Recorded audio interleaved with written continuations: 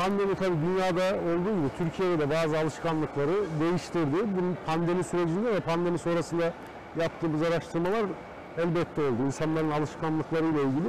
Bütün dünya zaten bunu takip etmeye çalışıyor. Hijyen de tabii pandemide e, bu salgından sebep çok önemli bir hale gelince sektörel değişikliklere de yol açtığına inanıyorum ben. E, onu da gözlemliyorum zaten. Sektörü de kendi adına dünyada da Türkiye'de de sektörel değişikliklere bir e, ön açmaya başladı. Tabii ben e, DDC makine özelinde şöyle düşünüyorum. E, Kocaeli firmaları e, ve Kocaeli'nin genelini sporuyla, siyasetiyle, firmalarıyla bugün İstanbul'dan yayın yapıyoruz.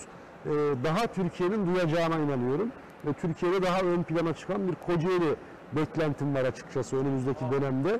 E, böyle firmalarımızla, işte sporla, e, belediyelerimizle Türkiye'de daha etkili, daha çok konuşulan bir Kocaeli olacağı inancındayım.